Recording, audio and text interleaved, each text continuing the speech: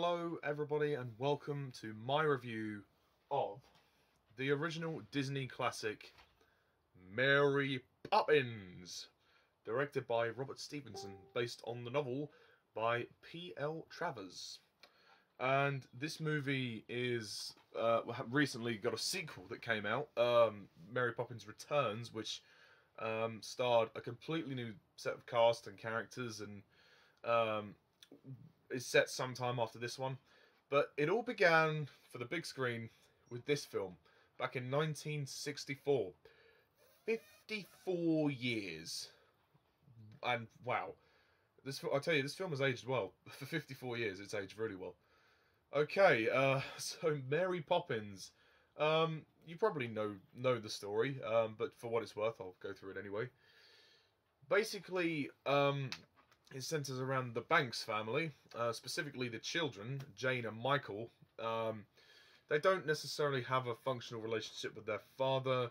Um, things aren't going well. Every single nanny that is hired to look after them either leaves or uh, is fired. So, um, with a bit of help, they um, they, they they come across this magical nanny known as Mary Poppins. She she comes uh, she comes flying down on her umbrella and she implants a firm, you know, tactic to uh, to make sure that the, the children actually learn lessons, and also that the family gets sorted out, and you know, the father, um, George, um, starts to appreciate his kids a lot more, and that's kind of the basic gist of it. There's other things going on as well, like you've got this other character, this this chimney sweeper known as Bert, who's um, he's got no money or anything. He's just living on the street, and um, he uh, he's he's painting. He's and he's doing and he's and he's playing himself in a one man band. Um, he is a friend of Mary Poppins. He helps the children in various ways. Um, you've also got the mother, Winifred.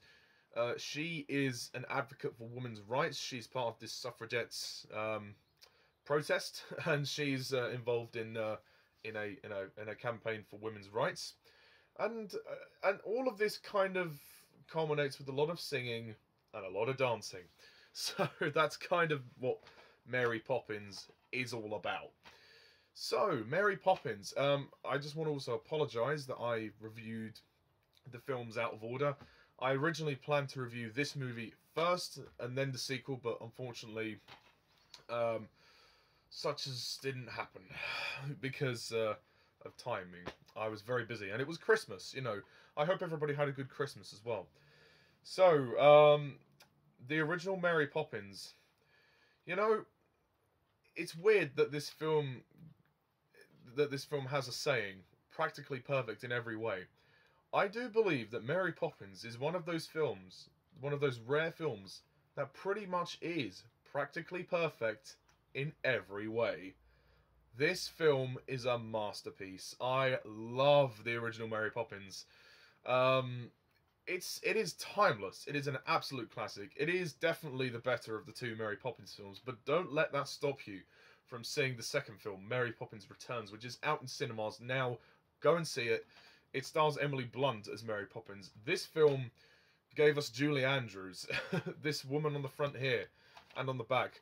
Julie Andrews uh, would would grow become very famous from this film. Um, this this was her her big big screen debut. Um, I mean, before this, Julie Andrews had only done, um, had only had only done like a couple of TV appearances and, and stuff. So this was her big film role, and she won an Oscar.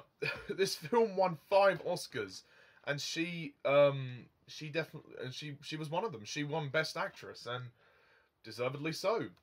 Um, Julie Andrews defined this role really. I mean, obviously, if, if you're familiar with the background of the um, of the film, uh, P.L. Travers, she was very um, uncertain about the big screen adaptation of Mary Poppins. She wanted full creative control in the filming, but Disney were a bit mm, so-so on that. So there was a long debate. There was a big um, hoo-ha about Mary Poppins going onto the big screen until finally it was eventually uh, um, Disney kind of well, or PL Travers grudgingly accepted that Disney would make it, and you know what? Thank God because it, it turned out really well.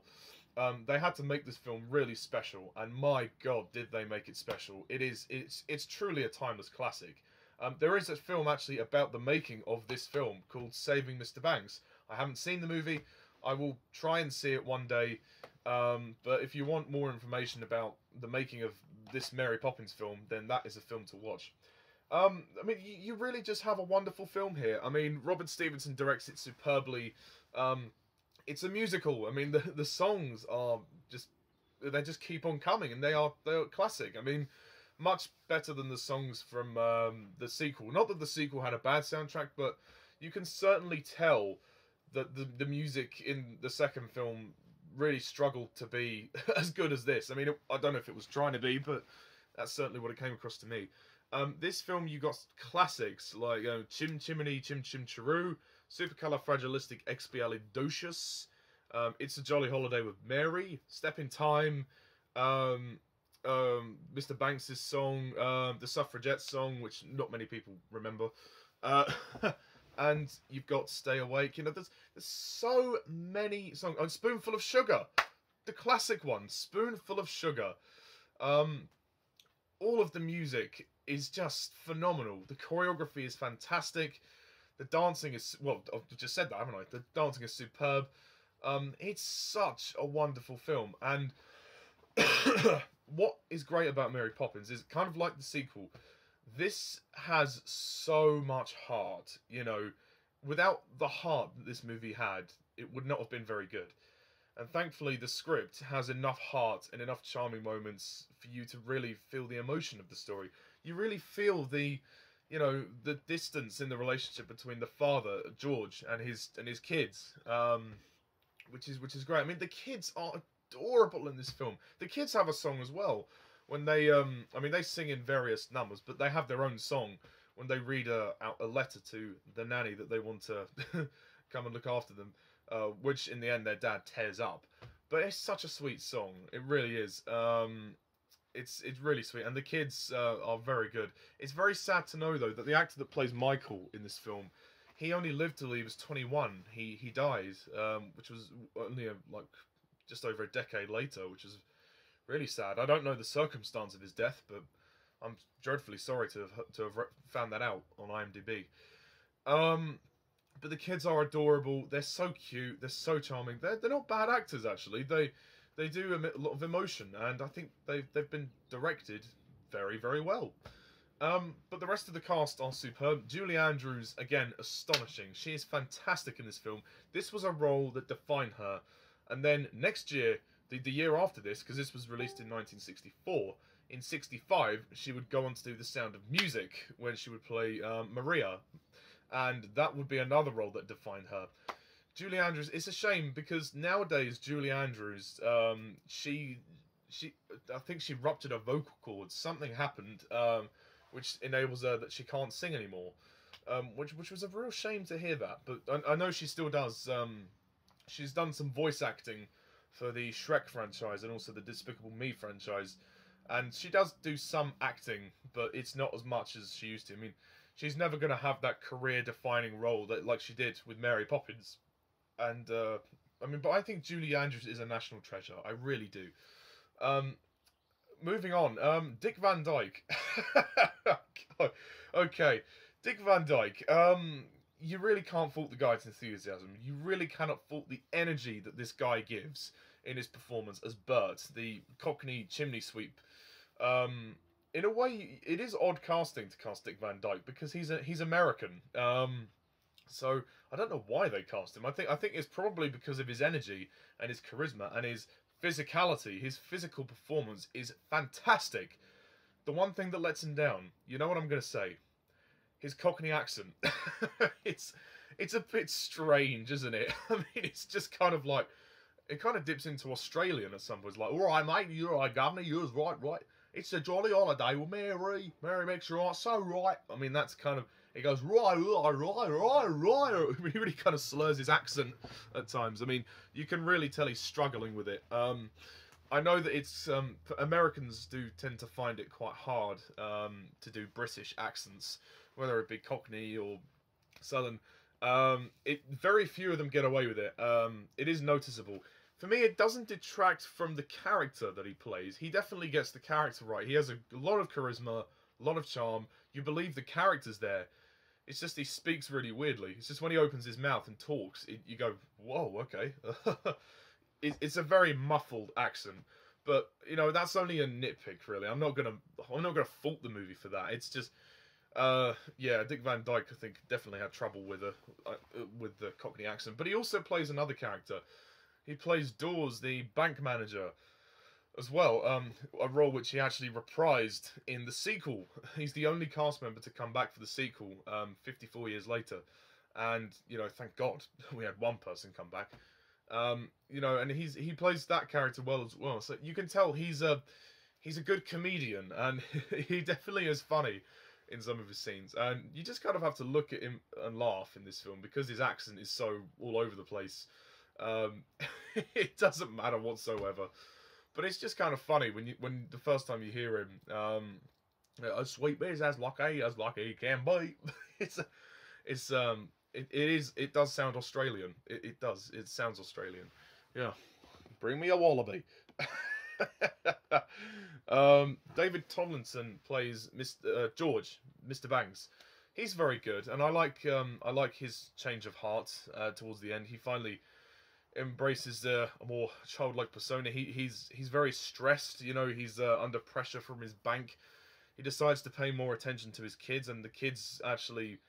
Uh, Mary Poppins encourages the kids to bring out the best in him, um, which is which is great. And you know, he's a very good character, and I like his song at the beginning as well.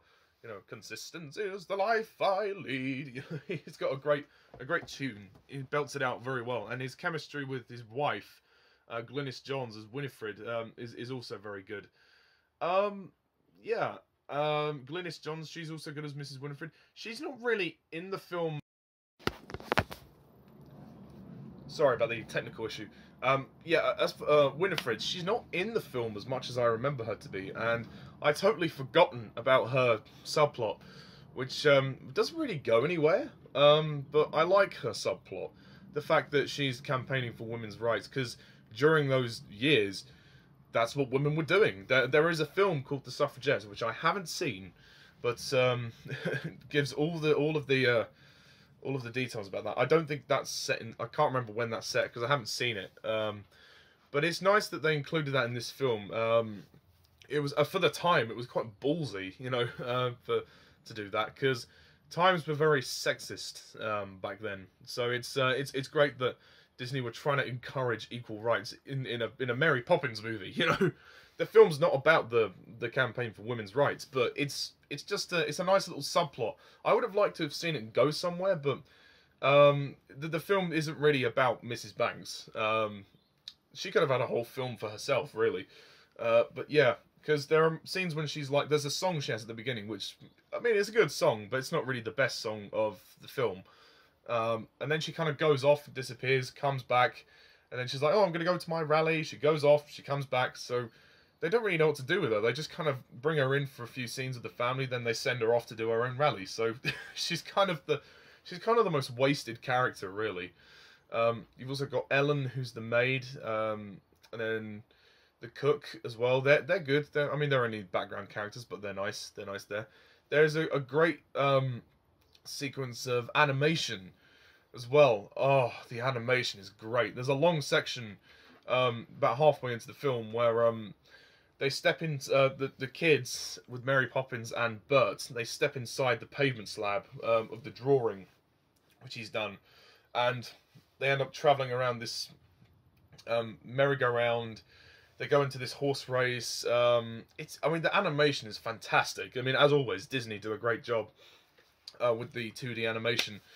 Um, and it's and it's great the way they blended live action uh, and animation together. I mean, they they they've done that in the in the future as well, and they've done it with the new film. But for this film, it was impressive, very very impressive. Um, considering the limited technology they have, it's really impressive to see, you know, a real life Julie Andrews and Dick Van Dyke against the 2D animation. Um, and it looks very authentic and it's aged really well. Um, it's it's it's just wonderful. Um, the film is a little bit on the long side. It does go on for it's about two hours twenty minutes. It it is it is long, but it doesn't falter in pacing for me. It it, it keeps itself moving very well. Um, it's highly enjoyable. There's just so much heart. You just can't help but smile when you watch it. Like the second one, you can't help but just have a huge smile on your face. There's a lot to admire here. The only thing, um, the only thing I, I wasn't keen on, of course, was Dick Van Dyke's accent. But other than that, it's pretty much perfect. It, it, and I rarely say that, and it, and I can see why it won all the Oscars. Um, the the the music score as well is very good. Um, it's timeless and it remains the, the, the best of the two Mary Poppins films. Um, but they may do another one. I mean, who knows? If they do, it'll probably be with Emily Blunt. I wonder if Julie Andrews has seen the new film.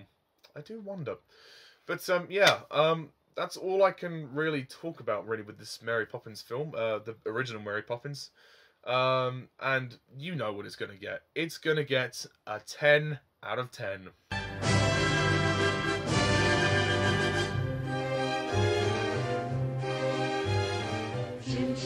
Chim chimney, chim chim chimney, how sweet is as lucky.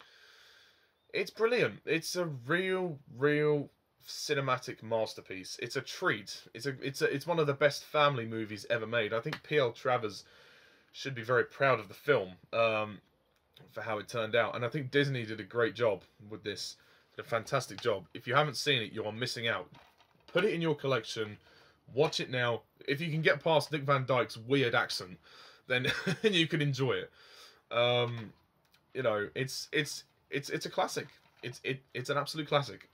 Uh, please see Mary Poppins Returns as well. It is a very good sequel. Um, not quite as good as this one, but still very worthy. And as I mentioned in the previous review, uh, well, which is actually the review of the second movie, um, the, the Mary Poppins um, was kind of redone in in a way. Um, Emma Thompson um, and co did a version of Mary Poppins called Nanny McPhee, uh, which was essentially kind of a similar concept, just different execution. The only difference was Nanny McPhee looked ugly, and then when the children did everything better and everything was back to normal, she her appearance would change to reflect um, the lessons they'd learned and the family getting together again. I, I, I said previously I will review the two Nanny McPhee movies uh, at some point. Um, maybe maybe not now, but at some point down the line I will review them because they're they're very similar to Mary Poppins. I mean, they were based on the Nurse Matilda books, but to be honest, they they're more like Mary Poppins.